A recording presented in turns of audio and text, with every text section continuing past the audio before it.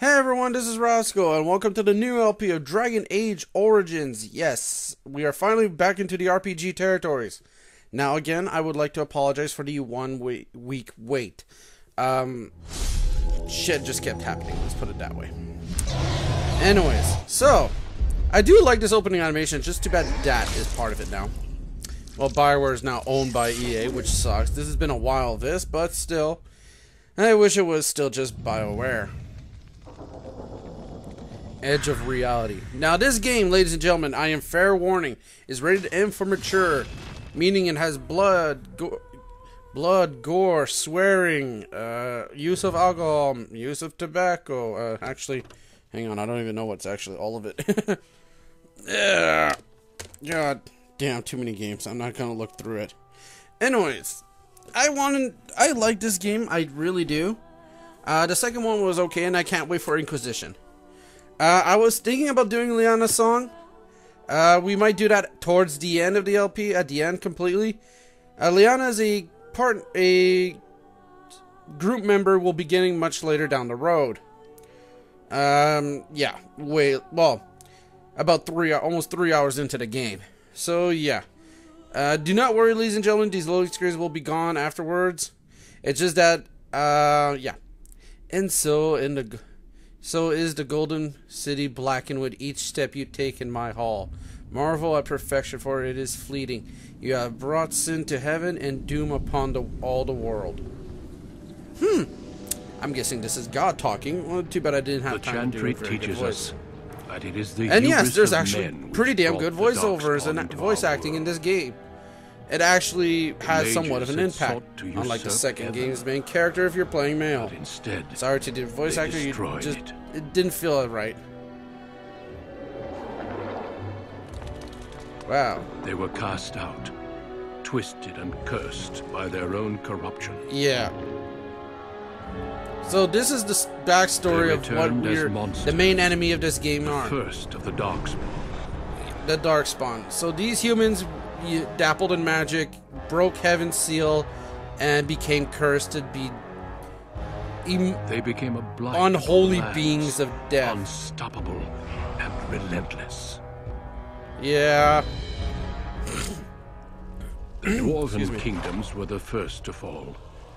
And Whoa. from the deep roads, the dark spawn drove at us again and again until finally we neared annihilation.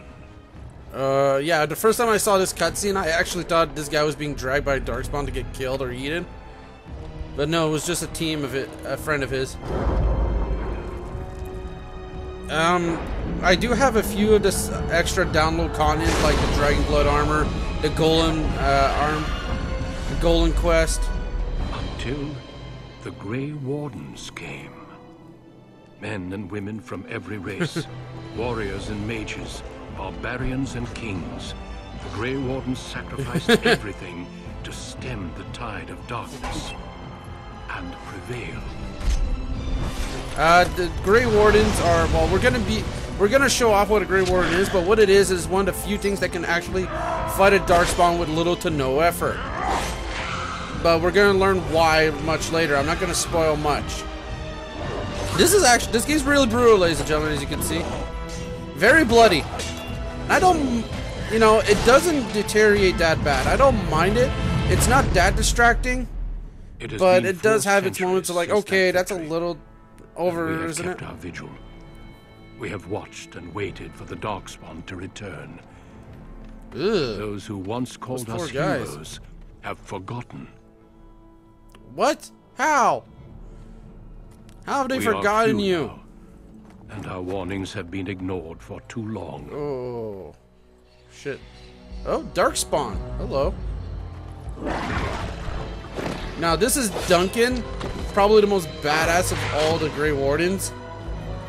Until you come along, but whatever. It may Oh, even be too late, boof, boof. for I have seen with my own eyes what lies on the horizon.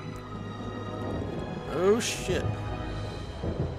Maker. Yeah, as you can see, he was pretty clean.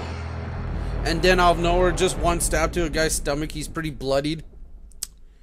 Yeah. so, anyways, if this is a Bioware game, there is a character creation screen. Now, there are obviously a few things here. You have your gender, male or female, race, human, elf, and dwarf. Now, depending on which race you go, you have certain classes available to you. Uh, if you go dwarf, human, and elf, all three classes are available to you. But if you go dwarf, the ma- ma- uh, the mage class is locked to you. You can go either warrior or rogue. To, to me, this game, I decided to go a little sadistic, crazy, and um, decided to dabble in the arts, in the special arts. Come on. There we go. Mage. Now, your background also determines if you pick mage, you're automatically sent to the Tower of Magi. If you pick human or elf, warrior, rogue, you have different options as well. Same thing with the dwarf. You can have royalty, you can have um, uh, berserker, you can have force elf. I think certain of them are locked to you at point. So I was thinking, trying to think of a good um, elven name because I want this character to be unique. My very first character was an elf rogue, so I was good with the bow. And yeah, I'm like, yeah, fuck this. now, uh, if anyone's ever played any kind of game, you might recognize where this name is from. But if not, the name is Janal. I don't know. I was just. I looked up a book, ladies and gentlemen. So, character creation. Uh. Fuck this. I skipped all of it. So, this is how my elf is gonna look. My character is gonna end up looking. Eh, he's not that good looking, but whatever. My rogue elf is actually much better because he looks more like an elf from Lord of Rings or, you know. I cannot cast it. This weapon Uh. does nothing. Excuse me. Yeah, why not? Mystical. That's our voice type. Uh, next. Now, of course, abilities. You have strength, which increases your melee effect. Dexterity increases your bows and trap skills. Uh, your willpower increases your mana pool or your um charisma, which is used for certain skills and tasks. Your willpower, the more you have, the more damage you'll do with magic. Uh, your no, that was cunning is I forgot, and I forgot the last one. I went a little too fast. so yeah. Hmm, two abilities. Now, as much as I want to break the game, I'm going to try not breaking it. the game can actually be easily broken, ladies and gentlemen. Yeah, I decided to go with heal and Winter's Grasp. Why not? We're gonna play on normal difficulty and let the game begin. This is the last loading screen we'll see, ladies and gentlemen. I'm just doing this to increase the time with a bit, and this loading screen isn't that long, so... On a cliff overlooking the dark waters of Thank Lake you, Duncan. Stands the tower fortress that is home to the Circle of Magi. This tower Wouldn't is it be the only Magi, place in technically? Ferelden where But, mages you know, I'm not going to argue about uh, Within the high stone walls, a is a word that is pronounced to me, so whatever. in the proper use of their powers. But the Circle Tower Yeah, right. is as much a prison as a refuge. The ever-vigilant Templars of the Chantry watch Yeah. over all mages. So the Templars in this game, unlike the historical facts, The Templars in this game are actually, um, we enhan Found to be are actually warriors magic at a given the ability to use to resist magic. They are one of the few people who can actually fight mages and kill them with little to no ease. Now, that apprenticeship is nearly uh, little to no problems. Sorry, not All little to no remains Little is to the no final test. problems. The harrowing. So yeah, this is our character. we have to do our final test in order to prove the fact. never to rule over him. Thus spoke the prophet Uh. Andraste as she cast down the Tevinter Imperium, ruled by mages who had brought the Yeah. world to the edge of ruin.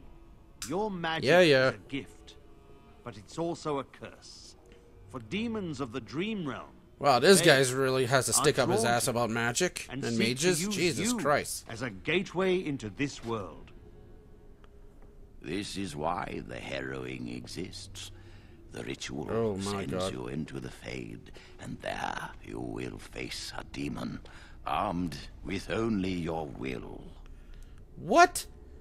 Um, is there no other option? It will turn you into an abomination and the Yeah, Templars well, will be I forced asked the obvious question. What happens if the demon wins? This is lyrium, the very essence of magic, and your gateway into the Fade. The herald Yeah, this is actually pretty cool. of necessity, child.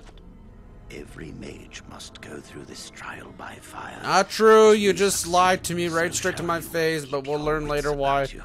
And remember, the Fade is a realm of dreams. The spirits may rule it, but your own will is real. The apprentice Ah. must go through this test alone, first enchanter. Yeah, but he can't give me words of encouragement, you dickwad. Well, um, we're only like five, two minutes into learning who this character is, and we're already hating. On, I'm already hating on this guy. Well, this part's already coming to an end, so join next time as we enter the fade. Don't forget to comment, rate, subscribe. Thank you. Have a good day or night.